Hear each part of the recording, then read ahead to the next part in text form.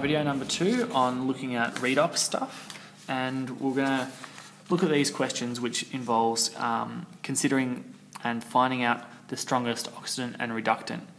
Um, the next one is looking at if something is actually acting as an oxidant or if we have um, redox in general. And the other one is looking at um, drawing and writing out complex um, half equations and an overall equation for it as well. So I'll start off with the first one. Hopefully I can get this in under 10 minutes as well. Consider the following overall reactions for these, for from, sorry, these galvanic cells. I've got chromium solid um, is reacting with um, iron ions, and then we have that's forming the chromium ions and forming um, it's called iron solid. What I want to find out is the strongest oxidant and the strongest reductant in these guys. So what I'm going to first of all do is I'm just going to write out a mini electrochemical series based upon what we've got here. So I've got, remember on the electrochemical series, I'll just put a massive arrow here and I'll say our ions are on this side of the electrochemical series and our solids are on this side of the electrochemical series. If I put Fe here in the middle, I'm going to look at what's going to happen and what must be around this. According to this reaction, okay, this is a spontaneous reaction. That means if something's going to react with iron 2 plus, it must be below it on this side here.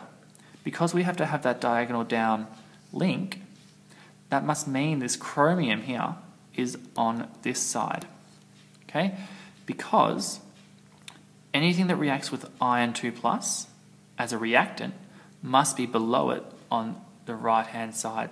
Because our we know our ions if you look at our electrochemical series every single ion is on this hand side here. All right? All these ions are there. Um, our so then we have must this must be below iron there. Next we have lead and iron solid iron 2 plus is going to form iron solid here, all right, because that's the way it's done there, okay? And that means chromium 3 plus must be on this side here because it's the opposites. All right, I can add in my electrons here as well if I want two electrons there, three electrons there, it doesn't really matter. All right, but we have our overall things here. Now, for iron solid to react with lead 2 plus, the lead 2 plus must be above and to the left hand side of this iron solid. So the lead 2 plus must be up here, aqueous, must go to lead solid. Okay, and that'll be plus two electrons there as well. Okay, because lead 2 plus reacts with this, it has to have that diagonally down, um, uh, what's called diagonally down link. Now, from this information, we can find our strongest oxidant, strongest reductant.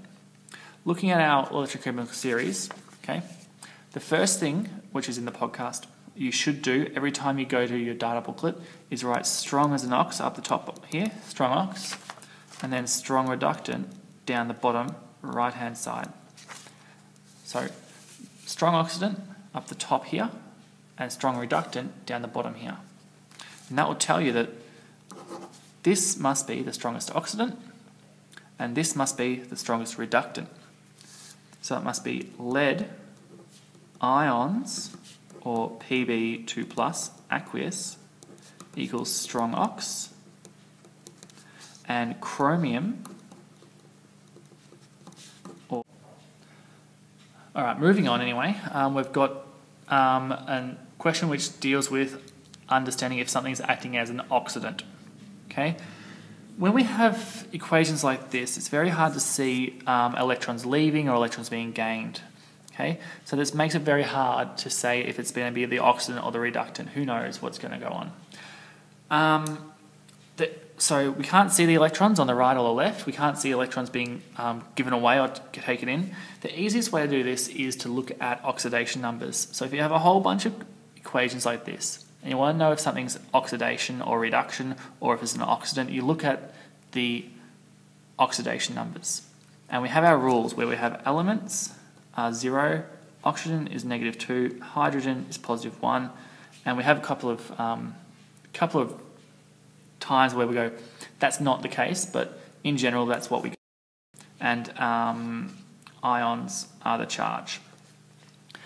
The first thing we look for is the easiest thing to see what's happening to it is we look at our, um, our for our elements because elements you know are zero it's really quickly quick to um, look at their oxidation numbers. So I quickly look through here, I see an element here. That element must be zero. Okay? And then I look at what this is forming. From zero, is it going up or down? It's forming the copper ion.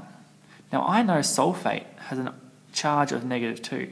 That means that this copper ion must have a charge of positive 2. Alright? So therefore, its oxidation number is going up. Okay? You sing a song quickly in your head. You go, oh, the, my oxidation number is climbing up out of sight and therefore it's about oxidation.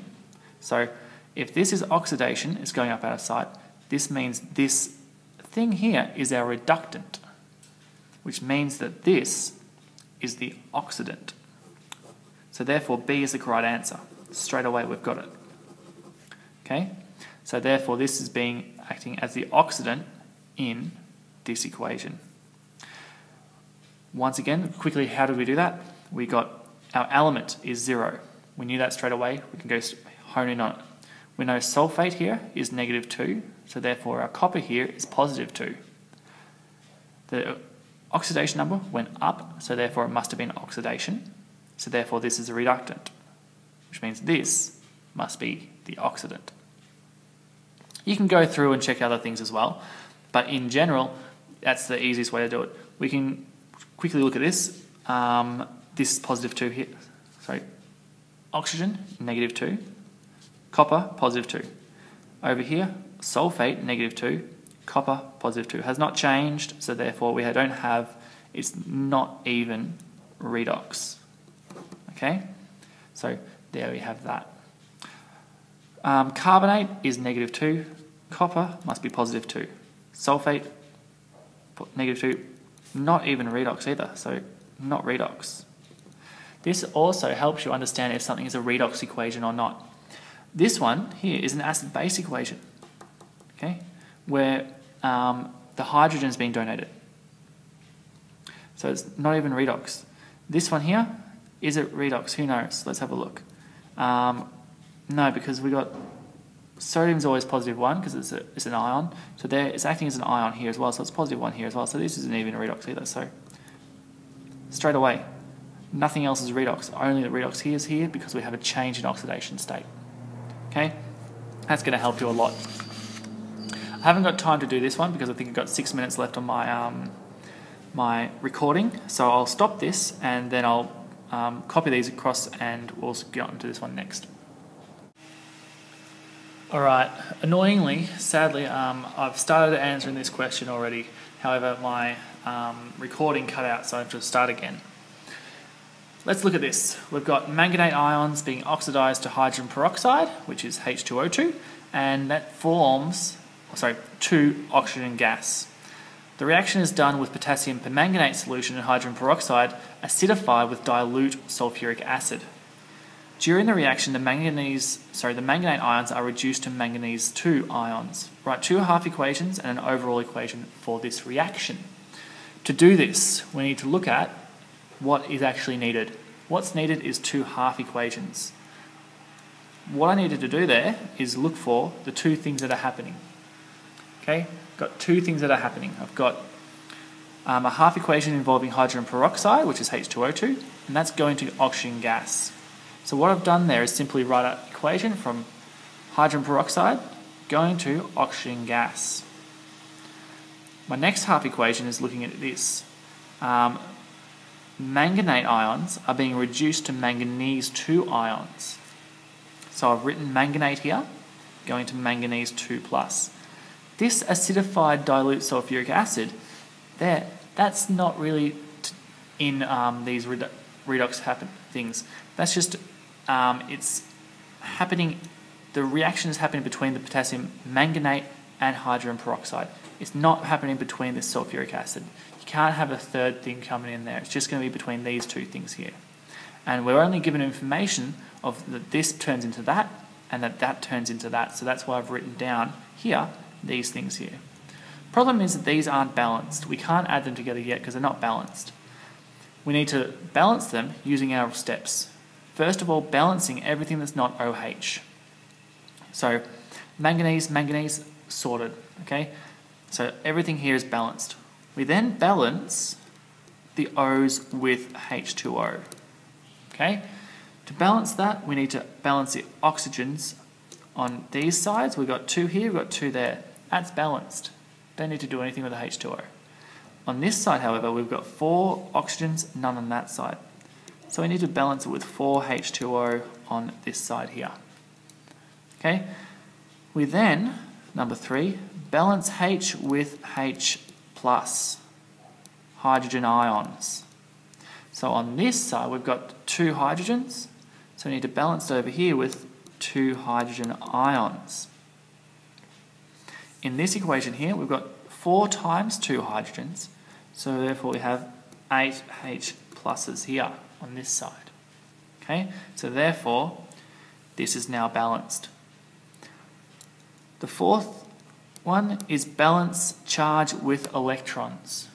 Electrons are negative, so therefore we need to bring positive charge down to the other one.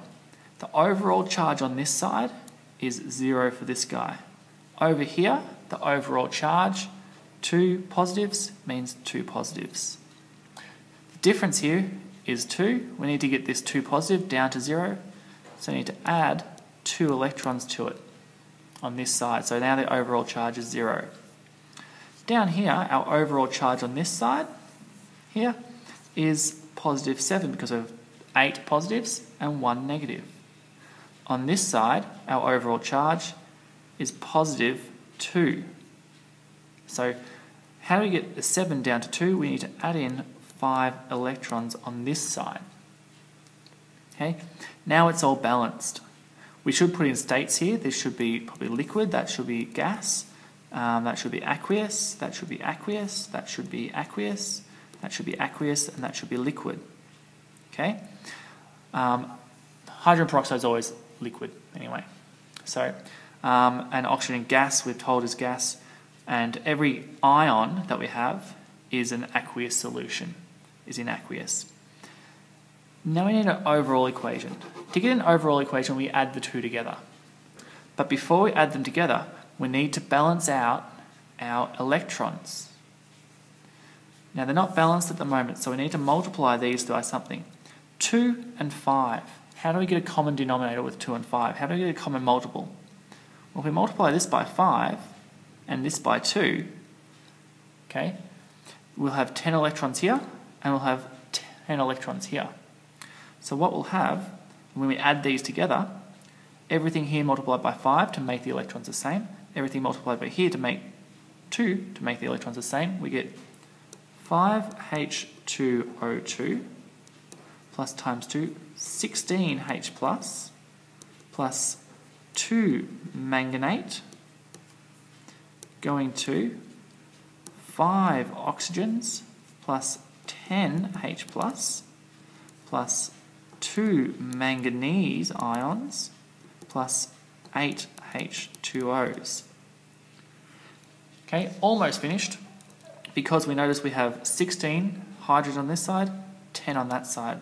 What we're going to do is cancel out the ones that we don't need and bring this down to 10 on this side makes